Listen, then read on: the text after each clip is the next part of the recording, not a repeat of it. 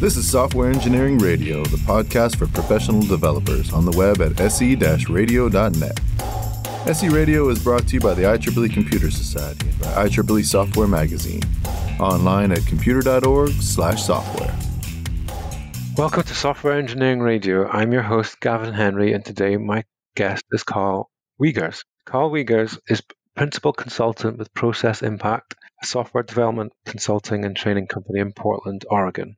He has a PhD in organic chemistry, which we'll touch upon later. Karl is the author of 13 books, including Software Development Pearls, which we're going to talk about today, The Thoughtless Design of Everyday Things, Software Requirements, Successful Business Analysis Consulting, and a forensic mystery novel titled The Reconstruction. He has delivered hundreds of training courses, webinars, and conference presentations worldwide. Karl, welcome to Software Engineering Radio. Well, hi, Gavin. Thanks very much for having me. I'm happy to be with you today. So I'd like to start with a brief history of your background in software, and then I've broken the show up into hopefully six blocks of around 10 minutes each so we can dig into various sections that I found good in your book. We'll see how we get on. We'll do our best. So, first of all, I'd like to address the fact that your book says 50 years of experience. Has that been a volatile 50 years of change, or was there more or less change during certain periods? What stands out for you during those 50 amazing years of career? Yeah, it's hard for me to believe it's been that long. In fact, uh, it was 50 years when I started writing software development pearls. I first learned to program in college in 1970, which is now almost 52 years ago in September. And I did a lot of programming in on different situations there and also in graduate school in chemistry at the University of Illinois. I did a lot of software development for various reasons and started out my career at Kodak in Rochester, New York as a research scientist. And then after a few years, I moved into full time software development. And what was interesting is I also became an Atari hobbyist. Remember Atari computers? Maybe you're too young for that, but I was an Atari hobbyist and I did a huge amount of programming at home and even wrote the assembly language tutorial column for a hobby magazine for two years and uh, even programmed some commercial educational games. So I did a lot of different kinds of things in software. I moved from software development into software management and then into a more of a quality engineering and process improvement kind of role and started my company Process Impact in 1997. Plus, of course, like all of us, I've got a lot of experience as a user. and, you know, a lot has changed in the last 50 years about software and software engineering.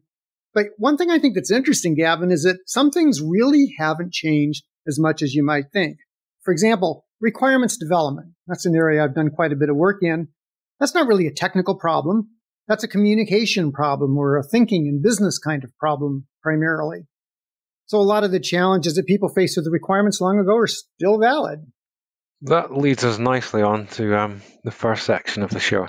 So you mentioned requirements, which is spot on for where I'm going with the show. So in lesson four of your book, you say a user centric approach to requirements will meet customer needs better than a feature centric approach. So I think that is understanding or trying to understand what they want from something rather than the features. Could you explain that better than me and take us through that? Yeah, there's two separate but related concepts here.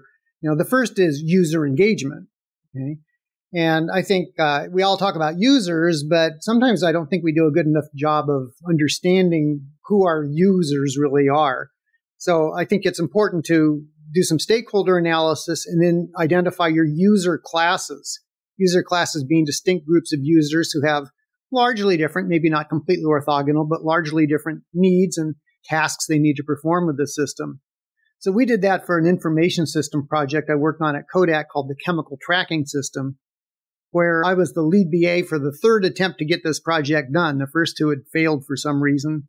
And we identified four distinct user communities with largely different needs.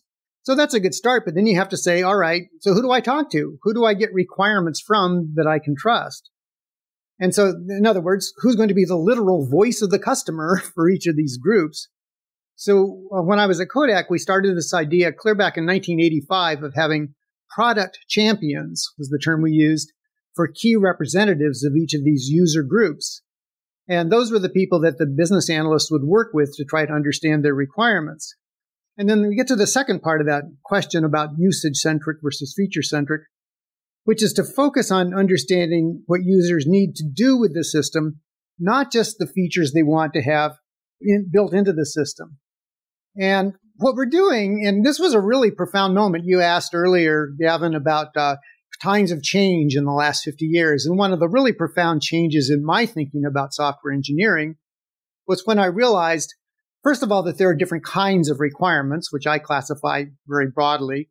There's business requirements, user requirements, and uh, functional or solution requirements. But then the real insight I had was when I learned about use cases. And I realized that if we talk about what people need to do with the system, we learn a lot more than if we just ask people, well, what do you want?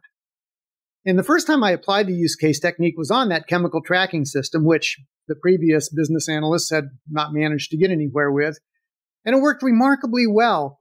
All of the user representatives we worked with really found that approach comfortable and satisfactory and natural when we're talking about, well, what are the things you need to do with the system rather than what the system should do itself. So I really got sold on use cases and this usage centric thinking. And does that fall under any type of model that is given a name today, a type of practice or something, or is it encapsulated in requirements? Well, that's a, a good question. I think the use case rubric overall, I think, is kind of the uh, overarching theme there. And you do hear people talk about use cases actually in daily life sometimes now, even though I'm not sure they're using the term exactly the way we do in, in software, but the same idea. And the reason I think this is so important, so I'm not sure there's a general methodology, but but if we focus on that idea of usage centric requirements exploration and usage centric design, it solves a lot of problems. If you ask the traditional question during requirements discussions, what do you want? Or what are your requirements? Those are terrible questions. What they do is they open the door, and maybe you've had this experience. You just start getting this random pile of information it's really hard to turn into a set of useful requirements that leads to a decent solution. And also another thing that happens, you can focus on features so you implement functionality that doesn't actually let users do their job. Or you can implement functionality that no one's ever going to use, but you work pretty hard on building that even if they don't use it. So that's pretty discouraging too. And why do you think this normally goes wrong even today? Well, I think it goes wrong if people, A, aren't talking to the right representatives who can really represent the needs of a community of users, like a particular user class. It goes wrong if we leave it so open ended and just ask people what they want and they free associate and they think, well, it should let me sort this list this way. And, you, then you miss the gist of, well, what is the task you're trying to accomplish? And one way that I try to phrase that question is think in terms of, uh, okay, so here's an app. You're going to launch the app. What are you trying to accomplish when you launch a session with the app? You're not launching it to use some feature. You're launching it to get something done. Even if it's a game, you're trying to get something done. Or if it's a device or it's a, a software application, you launch it for a reason. So by trying to understand the reasons people are, are using it and what they're trying to accomplish, then we go a lot more to the right side of understanding, all right, well, what functionality do we have to build to let you do that? And are we sure that that all aligns with our business objectives? So it goes wrong if you don't take that kind of approach. And I can give you a great example. Uh, so I've been a consultant for about 25 years. And one of my consulting clients once held a big one day offsite workshop.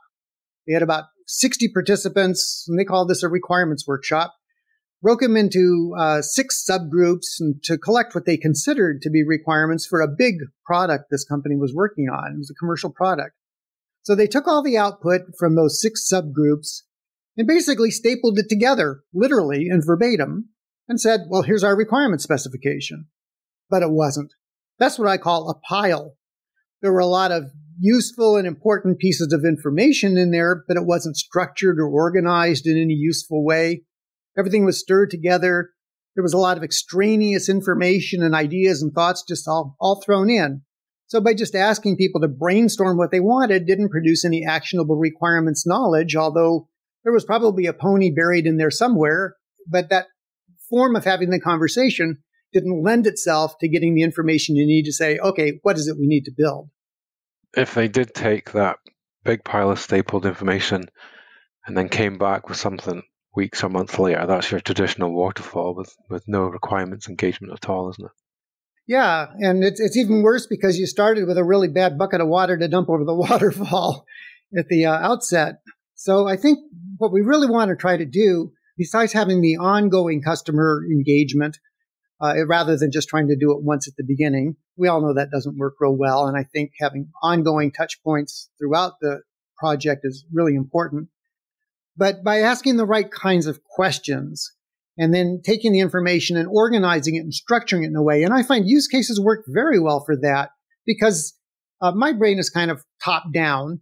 And I think it's better to start with some broad strokes or some higher abstraction thinking, like, well, what are the tasks we're trying to accomplish? And then elaborate the details over time at the right time, uh, as opposed to collecting this huge pile of information and then trying to organize it and sort it out and say, well, what do I do with this? In fact, I've got a great example of, of how I've seen that happen. So I've taught more than 200 courses on requirements to audiences of all kinds. And one of the things I do in those courses is I have the students participate in a practice requirements elicitation session after I've described the use case approach. I break the group into four small teams. And I see the same pattern over and over hundreds of times now one of those four teams always seems to grasp the idea of use cases, maybe because someone's worked with them before, and they make great progress in that one hour practice elicitation session. Two of the other groups need a little coaching on how to get going with use cases, and they, then they do fine. But the fourth group almost invariably struggles because they don't try what I'm trying to get them to do, which is talk about use cases. They start in the traditional way of asking the people who are role playing the users, well, what do you want? And as a result, just like I did with that, uh, that consulting client, the facilitator ends up with this list of random bits of information that are potentially useful, but there's no structure, no focus, no relationship to what the users are going to do with the system. And I've seen this over and over. Then the team just sorts of, sort of stares at the flip chart that's got these post-it notes all over it with these thoughts and, and feature ideas, and they don't know what to do next. So after seeing that over and over, I think that's pretty sell, pretty well sells me on the usage centric thinking. Thanks. And does that is this something that you just do once at the start, or are you constantly revisiting and revalidating the? Well, the phrase you mean on a real project? Yeah. Yeah. Well, the term that I use that I think is, is applicable is progressive refinement of detail. And so I think of maybe doing a first cut to say, let's identify these use cases. Let's take a user group and let's talk about what are the things, the major things you'd need to do with the system. And that's what we did on the chemical tracking system project. And then we can do a first cut prioritization and say, well, which of those are going to be more common or heavily used by lots of people and which ones are going to be more once in a while or only certain users. And that helps you start thinking very early about prioritizing your development approach, whether you're doing it you know, one time through the project or whether you're doing it in small increments. And then you can take each of those based on their priority and start refining them into further amounts of detail to get a richer understanding. And yes, you do have to revisit that as we go along because people will think of new things. People will realize that maybe something someone suggested is now obsolete in our business or whatever. So I think it has to be a dynamic, ongoing thing but that's why I use the term progressive refinement of detail rather than trying to get that all right away. Thank you. I'd like to discuss now what you call design. In lesson 18, you state it's cheaper to iterate at higher levels of, of abstraction. Can you take us through uh, abstraction, prototyping, uh, modeling, designs, things like that? Sure. So when I'm thinking about higher levels of abstraction, you can imagine a scale where the highest level of abstraction, you've got a concept for a project or a product, let's say. And then as you move down the abstraction scale a little bit, you start talking about requirements and, and you maybe you start doing some prototyping or modeling. So we start progressively moving from concept to something that's more tangible. And at the lowest level of abstraction, when you're building a piece of software, you have code. You know, that's the ultimate reality, of course. But all those things expand as you're going down that abstraction scale. So the idea behind that lesson that it's cheaper to iterate at higher levels of abstraction is that it's, first of all, it's nearly impossible to get a design right, that is, an optimized solution on your first try. At least I can't do it. It usually takes multiple attempts, kind of refining my understanding of both the problem and potential solutions on each cycle. So we want to think of how can you iterate? One way is to write the code over and over, trying to get the solution right. And that's iteration at a low level of abstraction. Or you can try to iterate at higher levels like concepts, the requirements, models, prototypes. And it takes less work to create each of those kinds of artifacts on each iterative pass so than it does doing it with code. So you can iterate more quickly and more times. And I think that gives you more chances of getting it right. Has that been your experience that it takes more than one try to get kind of the, the solution that you feel best about? Yeah, I think starting off with design first and then moving into requirements in a project where you have the idea, but things appear as you move forward and then you have to tackle them. And I think that fits nicely with how you say your requirements constantly change as you think about and, and discuss parts of a project. Your example was the chemical software application. Was that an analysis or what, what sort of application was it? It was a, a tracking system. So it was basically a database application where we could keep track of all the thousands and thousands of bottles of different chemicals, both in the uh, stockroom inventories throughout this very large company and also in individual laboratories so that we could just uh, order new chemicals, maybe try to find a bottle that's already around somewhere in the company so you don't have to buy a new bottle from a vendor, dispose safely of expired chemicals and that sort of thing. So it was a, a big inventory system essentially with a lot of tracking of individual containers. That's what it was about. So in the two lessons that we just spoke about, would the design have come first or the use case of we want to manage and track? Absolutely chemical? the use cases. Absolutely use start case. with the use cases because how do I know what to design until I know what functionality it has to provide? And how do I know what functionality it has to provide until I know what people are trying to accomplish with it? But that's tricky because the way you can phrase a sentence in English, you could say, I need to design a chemical tracking application, couldn't you? Or you could say, my requirements are a chemical tracking application. Yeah, so that would be the super highest level of abstraction, right? That's a concept. That doesn't tell you anything about the solution. That tells you about your business objectives, maybe. You know, and I think you do really need to start with an understanding of the business objectives, which is why do we need to build a chemical tracking system? Which comes back to the requirements, yeah. Right. So that's that top level of requirements or our business objectives, which is really the motivation of why are we spending money and time on this instead of on something else? You know, what's it going to do for us? What financial benefit or compliance benefit or whatever are we trying to accomplish with that? And that I think then helps you start identifying your stakeholders, start identifying these user classes. And then I find use cases are just an excellent way to have the conversation initially with those users to say, all right, if we need this system, and one of the big drivers for it was compliance. There were regulations that said you guys have to report to the government how you're disposing of chemicals and storing them safely and all that. That was our major business driver. So, not just potential commercial wastage. No, that was kind of a nice side benefit, but the principal driver and the key customer was the guy who was responsible for managing reports to the government for health and safety purposes of how the chemicals were being acquired, stored, and disposed of in the uh, Genesee River. I mean, the cafeteria, you know, wh- wherever they got rid of them. So yeah, if you didn't do the use cases correctly there, you might go down the feature centric or the wrong approach where you think you're trying to save money or you're trying to find something quickly or find out when it's expired, but that's not the top level thing you're trying to do.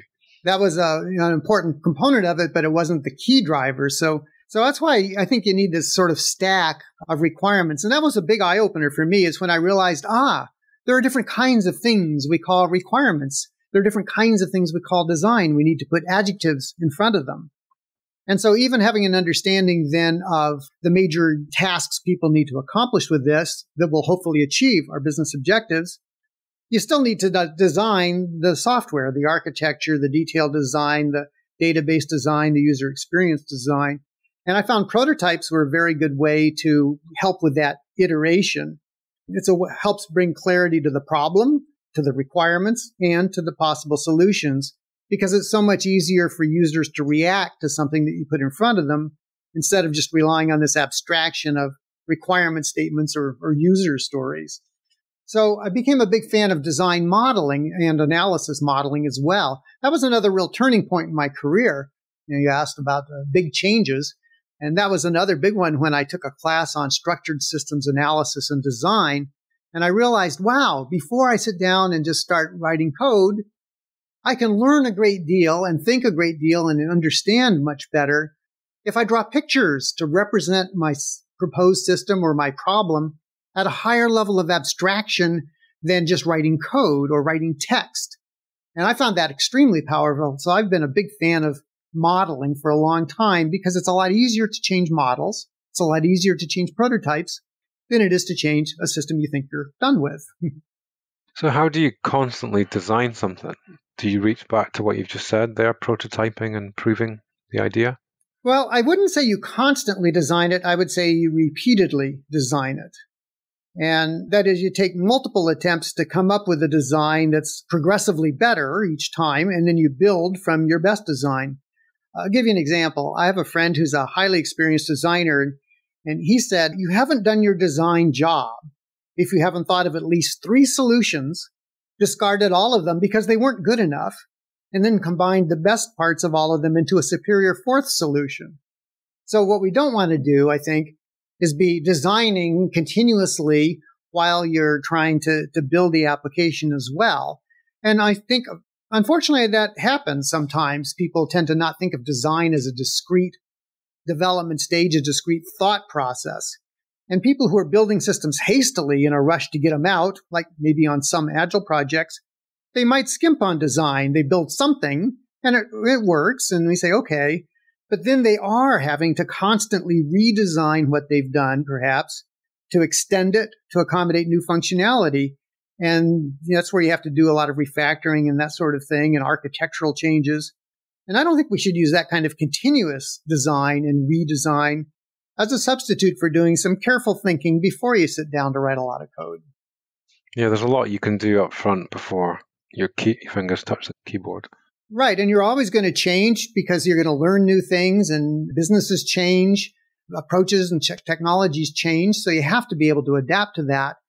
But I don't think the idea of, look, well, we can build code really quickly. We can refactor it for the next iteration. I don't think that should be a substitute for thinking. And um, there must be a point where you get so far along that you can't change the design. How do you manage that?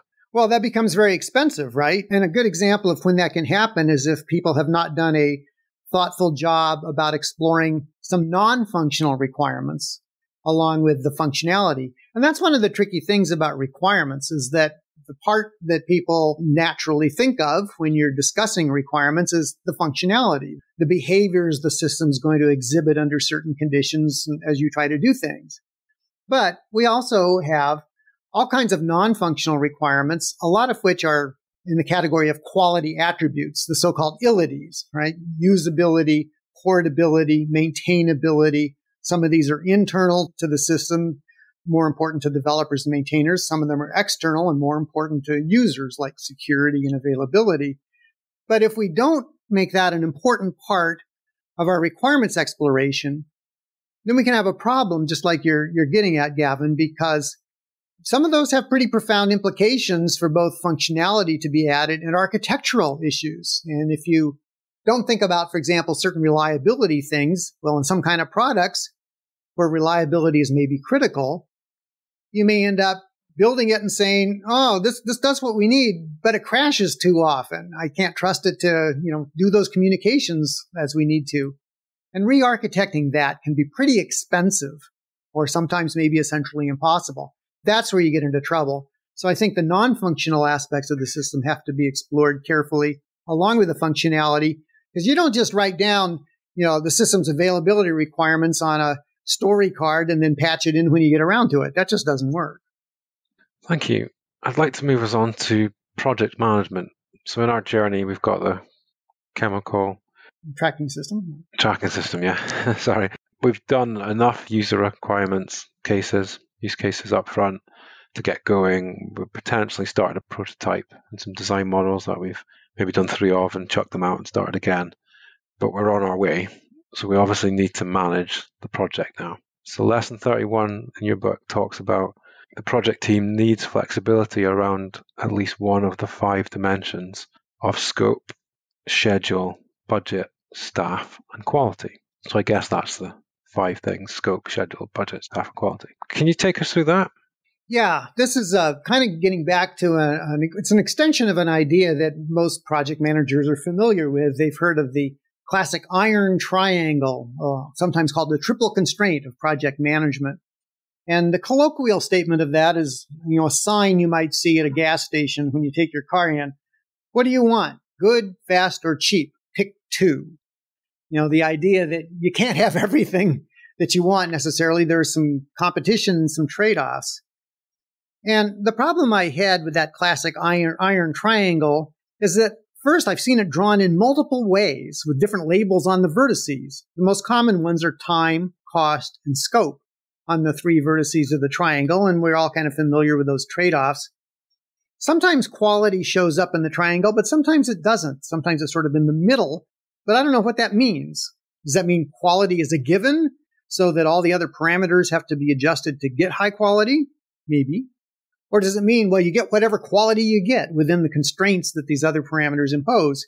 That's not clear. So I was never comfortable with that representation. And so I, I came up with this idea of these five dimensions that you mentioned scope, schedule, budget, staff, and quality. Sometimes people put in risk, but risk really isn't adjustable in the same way that these others are. And the fact is, people do make trade offs with these against each other, including quality, all the time. People might decide to ship a product that they know is defective in some ways with the idea, rightly or wrongly, that from a business point of view, it's better to get the product out there fast than it is to make sure that everything works right. Although I don't think customers always agree with that attitude. So I, I try to also split resources that you see sometimes in that iron triangle into budget and staff, two different aspects of resources. I've known of teams that had funding but they had a headcount limitation. They couldn't hire new people, but they could use that money in other ways, maybe outsourcing or buying a package solution or something. So the idea behind this uh, lesson is that there are these trade-offs people have to make and constraints they have to work within if they want to be successful. Would you say that those five things are applicable to whether it's a, a business application, a hobbyist application, or you know, because obviously if it's a hobby one, you might not want to spend any money, but the staff level is just you. The quality is as good as you want to make it, and the schedule is as quick as you want to do it. But right, so that's a little different situation for most commercial or business situations. But it still sounds like it's applicable, though. I think it is. I can tell you kind of how this works uh, and why we need to do this analysis of those different dimensions. So I was teaching a class on project management once at a a state government agency. And a woman in the class, after I talked about this, raised her hand and she said, All right, so here's our situation. We've got a fixed feature set that all has to be delivered. There can't be any defects. We've got a schedule and it has to be done on time. I can't get more money. The budget's fixed. And I can't get more people, more staff if I need them. So what do I do? That means none of the five are negotiable then. Exactly right, Gavin. That's exactly the point. And my point was is you will fail because if you don't have everything perfect, uh, then you're going to have some uh, limitations here. The first estimate that turns out to be low, someone who decides to leave the company unexpectedly, the first time someone comes along and says, Hey, could you add this? Any of those kinds of changes, you don't have any way to respond to them. You need some flexibility around certain of those dimensions. And as you were alluding to a few minutes ago, depending on the nature of your project, certain of those dimensions may not be flexible. You know, they may be constraints. Y2K projects were time constrained, right? That had to be done on a certain date. And that's true of things like, okay, the euro conversion, Brexit, all of those things had time constraints. So schedule was a constraint. You didn't have any choice. So that means something else has to be flexible. So I think of a constraint as being a dimension about which you have no flexibility. The project manager just has to deal with that reality. The second category a, dimension could fall into is what I call a, a driver. And a driver is one of the major kind of success objectives for the project, which may have a little bit of flexibility, but it's important to try to achieve that. And any dimension that's not a constraint or not a driver is a degree of freedom, which has a certain amount of adjustability to it. And the project manager needs to know how much adjustability. So the trick, and this is the balancing point for any kind of project, is to do some analysis so you understand what's critical, what's constrained. Is it schedule? Is it quality? You know, for a, a life critical system, you know, we'd probably rather ship it a month late if you have to, to make sure you don't kill somebody with it. So the project manager has to try to achieve the success drivers by adjusting the degrees of freedom within the limits imposed by the constraints.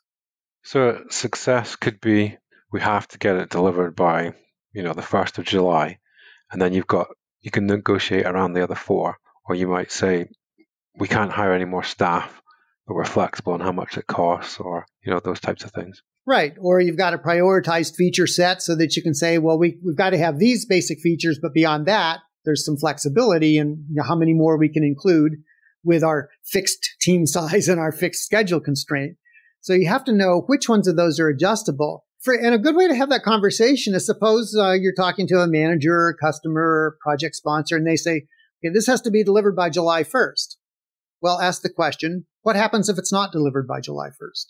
Yeah, I was going to ask then who's dictating that? The, the customer, the internal staff, the Right. So challenge that, you know, or at least inquire about it to understand. I mean, you're not saying no. You're saying, help me understand what happens if we're not done by then. And maybe the answer is, well, we're going to get a fine of 20,000 euro a day because we're not in compliance with some important regulation. Well, that's a pretty serious consequence. That sounds like a constraint to me. So July 1st it is. But what if the answer is, well, we'd like it by July 1st, you know, to go along with our other product launches, but you know, if we didn't make it out till the third week of July, we can live with that. Okay. It's a success driver, but it's not a constraint. So you need to know which ones are adjustable and how much adjustment there is in there, how much flexibility, so you can adapt to changing realities. And hopefully some of this has been caught in the requirements stage. Well, I think it's really part of the project planning stage. And you could understand, I think, that from more from a business point of view than from a specific software or solution requirements point of view from a business perspective, you'll know what's constrained. If you're working in a four person company, you're going to be staff constrained, you know, so that limits the size of things you can do in a certain period of time. So I think that's more of a business perspective than a application or requirements perspective. Is there a common theme you've seen in your commercial training and consultancy? Well, it varies a lot. I mean, what everybody really wants, I think, is they would like an application that has all the functionality anybody would ever want with zero defects, instantaneous response time delivered tomorrow for free. I don't know how to do that. and so obviously we compromise in some of those areas, right? And it's going to vary from situation to situation. But one of the common patterns that I think is one to watch out for is treating quality as a default adjustable parameter. In other words, well, yeah, it's got some bugs in it, but it's Thursday and we, we said we were going to ship it on Thursday. So we got to ship it because we're done now. It's Thursday. And that I think is short sighted, partly because, you know, customers don't like bugs. I remember reading a, an interview once with Bill Gates many years ago when he was still at Microsoft. And the interviewer asked, well, how do you respond to the complaint from uh, users that Microsoft software has a lot of bugs? And the answer was, and I believe this is a verbatim quote, our users don't care about bugs, they care about features. I've never spoken to anyone who agrees with that. So I think too often the default is, well, the quality is whatever it is, and we'll answer the phone if it rings. And I don't really agree with that in every case, but there may be certain cases, like if you're trying to be first to market with a highly innovative project and your target market is early adopter, innovator people, maybe that's okay. So it's a business decision. Yeah, I'm going to move us on to the next session just so I can keep us on track with time because I want to get a lot covered with you. But just to close off that section, in the network engineering world, the iron triangle, which is the first time I've heard of it, but we call it you make a choice between fast, cheap, and reliable. So if you're going to buy a router or a router, if you want it fast and reliable, it's not going to be cheap. So I just thought I'd chuck that in there. If we move on to culture and teamwork, so knowledge is not zero sum. This is lesson 35 in your book. In what ways can culture and teamwork positively and negatively impact a software project? For example, the one we're talking about, chemical. Well, this lesson gets to one of those aspects of how culture and, teamwork can affect the project. And let me tell you what I mean when I talk about culture. I think a healthy software engineering culture is characterized by a set of shared values and technical practices that lead to constructive and congruent, that's important, behaviors on the team. And I talk about this in my very first book, which was uh, published back in 1996 and called Creating a Software Engineering Culture. And the willingness to freely share knowledge among team members and to comfortably seek knowledge from your colleagues. That's one of those constructive behaviors. I had a great counterexample of that that helped bring this home. I used to work with a guy named Ron. And uh, Ron was older than me. He'd been around a little longer at Kodak.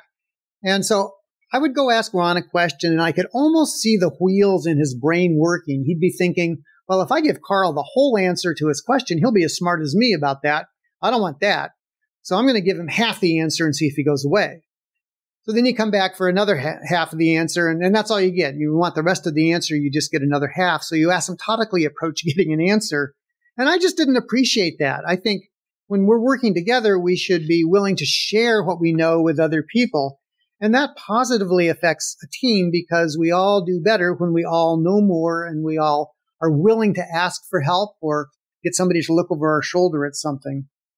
So I, I think that that's a real important way to improve the culture. As another example, in that creating a software engineering culture book, I described 14 principles that our small software team in the Kodak Research Labs had adopted as shared values. And one of them was that we would rather have a coworker find a defect instead of having a customer find a defect. And as a result, we routinely practiced technical peer reviews of each other's work. It was just ingrained in our culture. We rewarded people who participated in the reviews and who submitted their work to review by their colleagues, but we didn't punish people based on how many defects we found. That would be a real culture killer. Now, if someone joined our group who didn't want to participate in reviews for whatever reason, there's going to be a culture clash, and that just wouldn't be the right place for them to work. So I think having those kinds of factors to steer a culture in a collaborative, effective direction is really critical. And managers play a big role in shaping that culture by helping to establish those principles and values and by exhibiting behaviors that are consistent with those. Have you ever seen a case where management said they valued one thing like quality, but then they rewarded different behaviors, like people who delivered on time without necessarily delivering quality and then people had to fix it? You ever seen that kind of incongruence?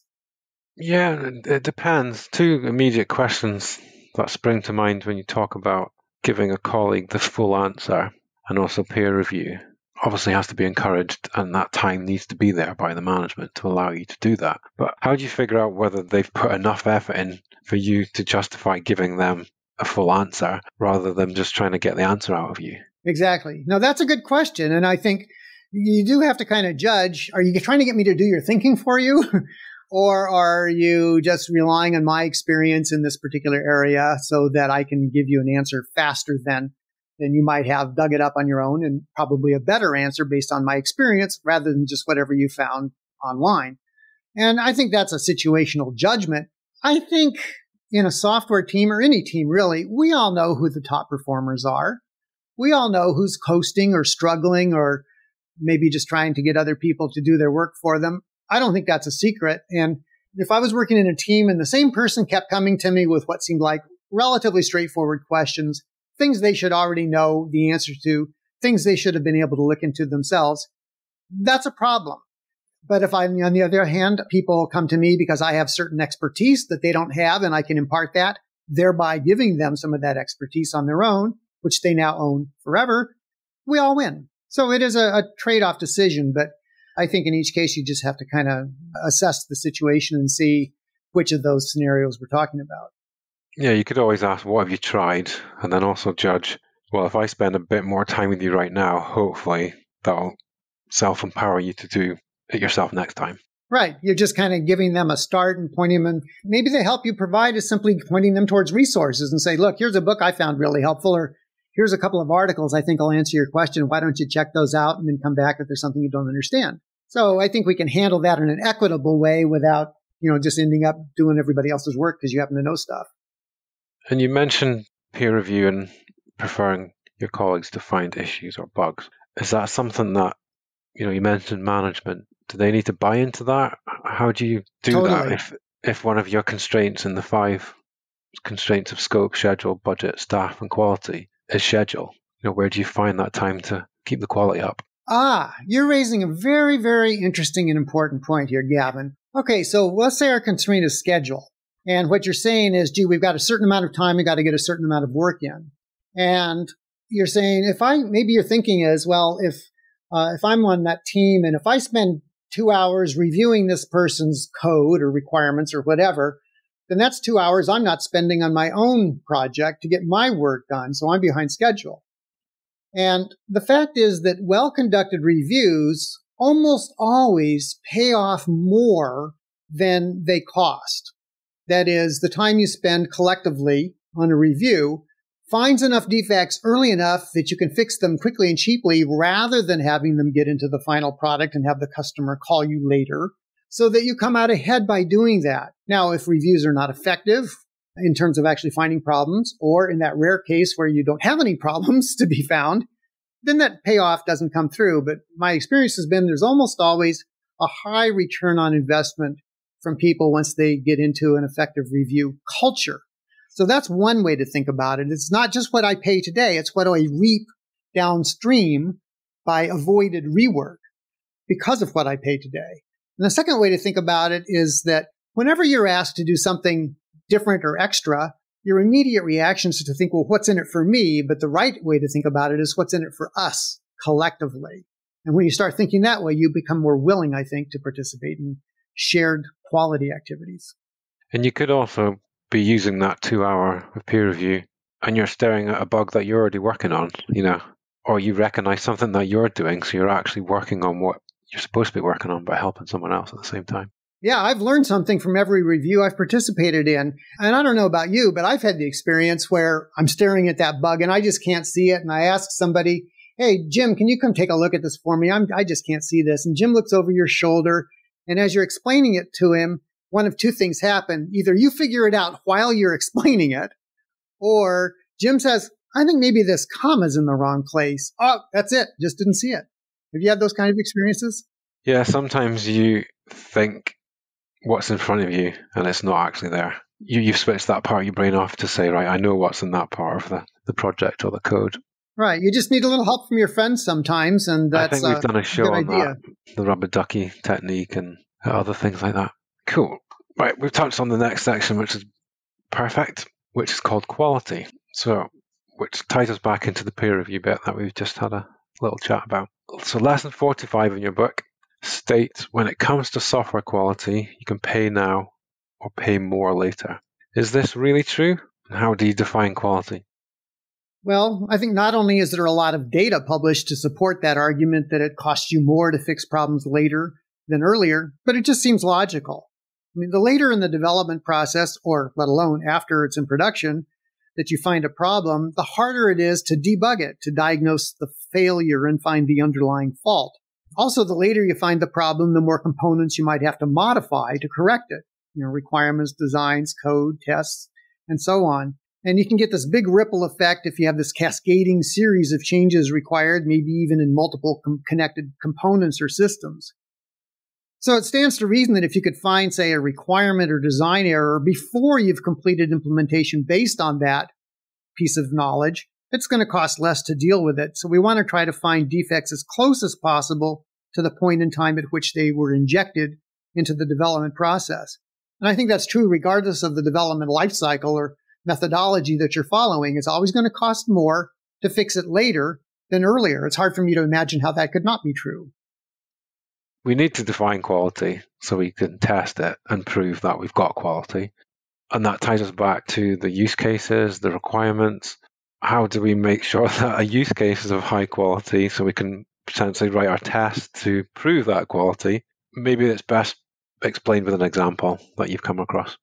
Well, the whole definition of quality is kind of a funny concept. And when I was writing this book, I looked up some definitions of software or more generally product quality, and I found a lot of different definitions. They all had merit, but none of them were perfect or comprehensive. So I decided I, I wasn't going to try to presume to solve that problem and come up with a perfect definition of software quality. But I learned two things from that. One, quality has multiple aspects. You don't just have a, you know, 10 word definition of quality that fits everything. Second, quality situational. So I guess we could probably all agree that in the context of developed software, quality describes how well the product does whatever it's supposed to do. And so instead of trying to find the perfect definition, I think it's important for each project team to explore what does quality mean to its customers? How are we going to assess that? How are we going to achieve it? And communicate that to all the project participants.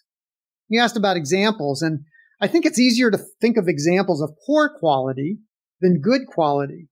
So what's poor quality software mean to us? It might mean the products don't let us do the things we need to do.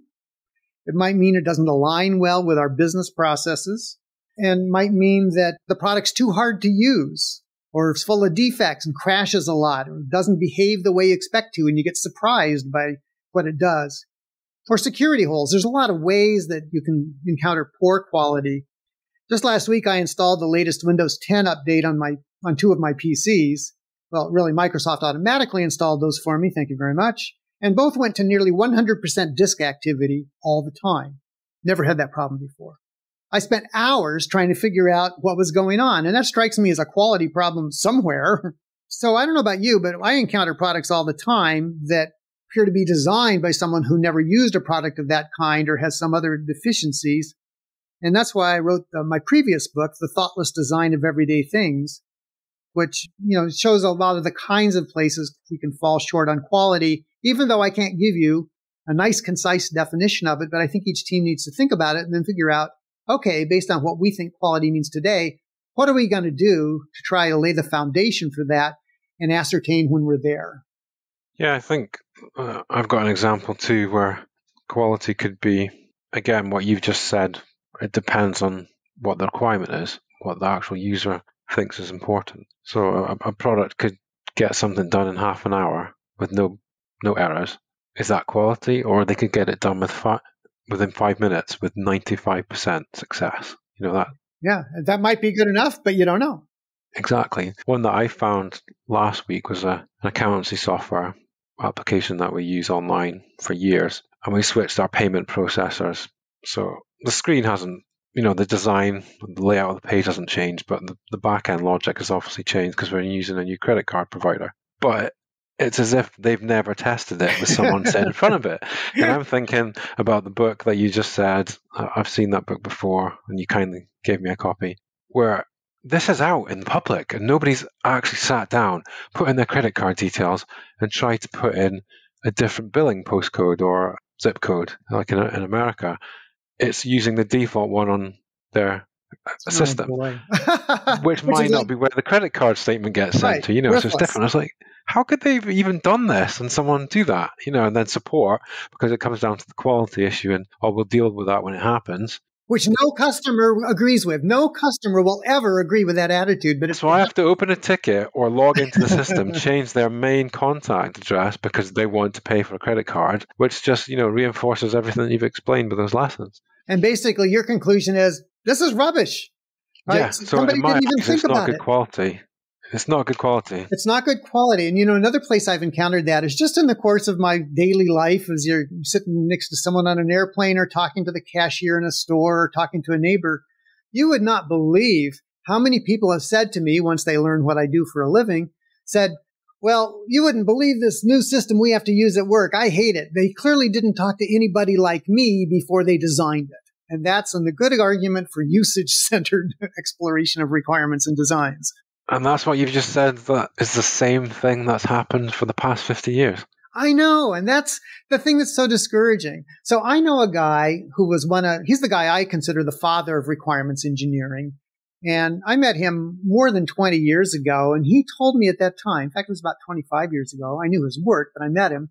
And he said, you know, he stopped teaching requirements classes because after 20 years, he was still saying the same things to people to whom it was all brand new. And he found that discouraging. And I've had the same kind of reaction because I've been teaching requirements classes now for about 25 years. And to me, it's astonishing when I find people that are professional business analysts or developers or software engineers. And I'm talking about stuff that's been known for a long time and they've never encountered it before. And they say, wow, what a cool idea.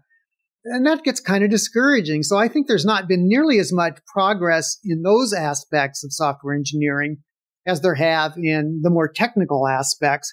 Maybe because it's not as much fun or it's not as cool, but it is a little discouraging to have all this stuff still be fresh. On the other hand, it does help keep books sort of viable for many years.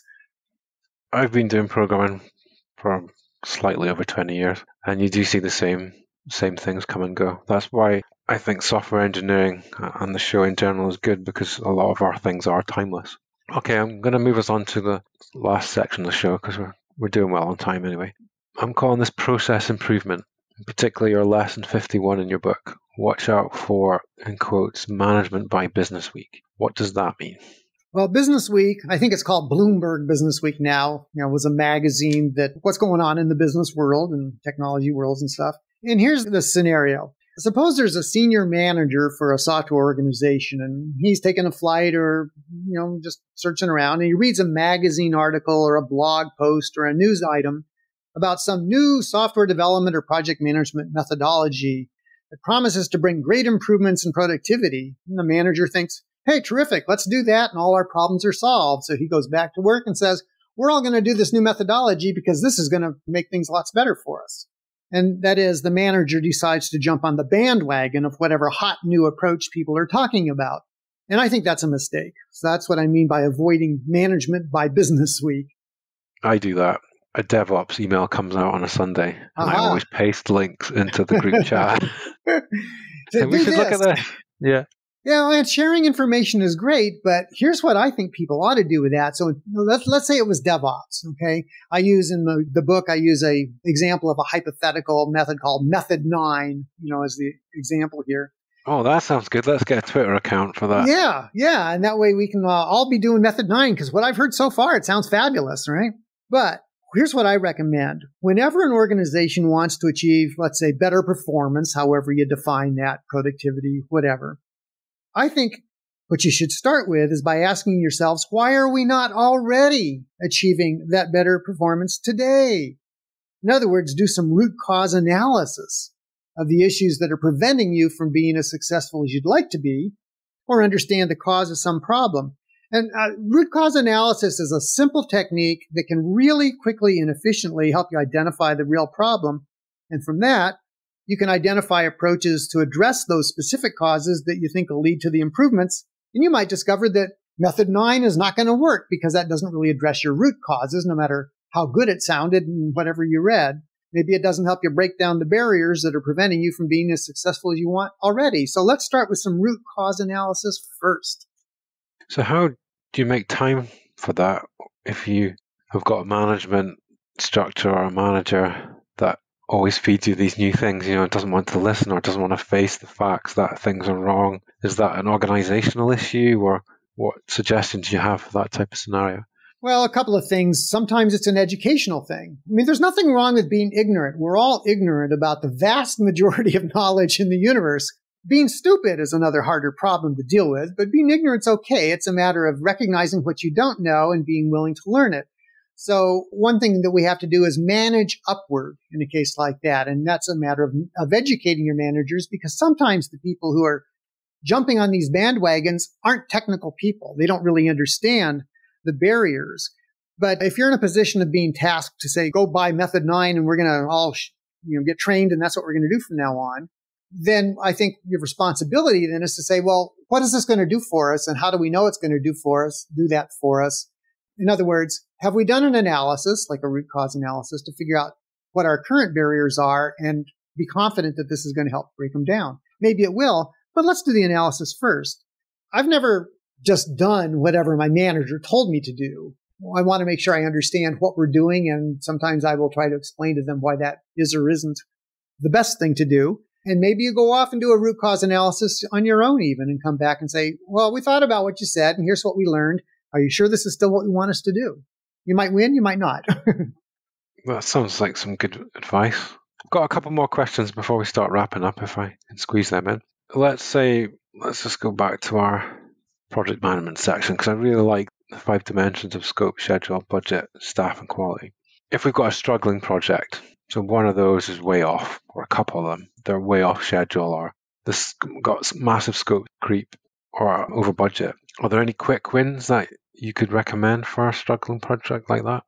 Well, if there were quick wins that would always work, then I would sell them and make a fortune and buy a very nice house somewhere. But I, I, don't think there's any magic solutions. But I think you do have to get back to understanding why. Good example. Uh, scope creep is a, a perennial problem with uh, many software projects where new functionality keeps coming along and people keep finding, well, we've got more to do than we thought we were going to have to do. And uh, we're running out of time, but none of these other things have changed. You know, we haven't got more people. We haven't got more money. We haven't got more time. So how are we supposed to make that happen? Well, you can't become more productive by decree or by swapping out your whole team for 90th percentile people or something. You can't do that. So I think you have to ask yourself, why are we experiencing this phenomenon? Are we bad at estimating? Did we not talk to the right users? Did we overlook some key stakeholders and all of a sudden now we found them and their needs are coming in? Very often when you're getting a lot of un- ongoing scope creep, as opposed to just normal kind of growth, there's always growth and change. But if you find you've got an incessant scope creep, you're probably not doing a very good job on requirements elicitation. You're probably missing things, maybe not asking the right questions, maybe focusing on features instead of usage, maybe not doing a good job of prioritization, or maybe not doing a good job of defining the scope of what you're trying to do. And then asking yourself when each change comes along, is this really in scope? You don't just throw it on a story card and put it in your backlog and without doing some filtering first to see if it's the right thing to do. So again, I think understanding why we're experiencing that problem and how that aligns with, with your business objectives helps you decide how do we respond to that. Well, my last question I think you've answered in that one would be what's the most common issue you see? And it sounds to me like not doing the requirement stage is a pretty big one. Wow. Yeah, that, that's a big one. But, but you know, I used to uh, years ago be involved with some formal software process improvement activities, like with the capability maturity model or, or CMM when that was a big thing. And I used to joke because one of the things that was common with those kinds of activities was to do a formal process appraisal where people would come in who were properly trained and authorized and do an appraisal of your organization to see how well you were doing with respect to the expectations of this improvement model and really kind of open the kimono and see what was happening. And I used to kind of joke that I could do a process assessment for an organization remotely for $100. I will send you a postcard and I will write your top three problem areas on that postcard. And those areas would always be requirements, estimation, and testing. And those are the areas that I think people had the most difficulty with. There are others, of course, and this is, you know, a little simplistic as a kind of a joke, but I suspect that those are still very common issues that software teams wrestle with. I don't know. What do you see? What are, what are the kinds of things that people encounter in your experience that are chronic, perennial challenges? I think it's pretty similar. You know, not getting maybe too excited about the project and cracking on too fast, not spending that time on the requirement stage, sacrificing testing to just doing things in front of them, you know, and not actually automating those tests and using them as a safety net. Pretty standard things that you've explained that you'd be shocked to not think that they've been solved by now. Right. And you know, it's kind of funny. There's, there's sort of a, an unstated mindset among people who are eager. I mean, people, of course, are eager to get into, you know, writing code. I mean, that's what software engineers like to do is build systems and write code and all that. But there's sort of a, an unstated undercurrent here that says we have to get started writing code right away because it's going to take us so long to fix it later. Well, maybe if we took an approach to think a little bit more and plan and explore, maybe you're not going to have to fix so much of it later. And so not only is that going to be cheaper, but it's a lot less stressful and you can probably finish chunks of work quicker than you thought because you're not devoting so much of your effort to rework. That's one of my big bugaboos is rework. I hate rework. I hate doing over something that was already done. Now, there's always some of that for perfectly reasonable, legitimate reasons. But I think if most organizations took a look at measuring how much of our total effort is spent doing things over that maybe we didn't have to do if we had taken a different approach, Sometimes you might find that you could get a third of your bandwidth back if you did take the time to do some of these other things that lay the foundation and iterate at the higher levels of abstraction instead of on releases And I think you'd probably find that we come out ahead that way most of the time, but it's not as much fun as writing code. Exactly. Obviously, it's very hard, if not impossible, to distill 50 years of experience into one book. You've done a very good job, let alone one podcast episode. But if there was one thing a software engineer should remember from our show, what would you like that to be? That's a good question. I tried to, in this book, to put in a lot of the things I've learned from from a long time. And I, I guess one bottom line lesson is that I have never known anyone who could honestly say, I am building software today as well as software could ever be built. And if you can't say that, I think you should always be looking for ways to improve your processes and your practices. So the final lesson in the book cautions you can't change everything at once. Both individuals and groups, organizations can only absorb change at a certain rate and still get their project work done. So you've asked a couple of times, uh, and how do you do this? How do you get time to do this in, in a busy project and stuff?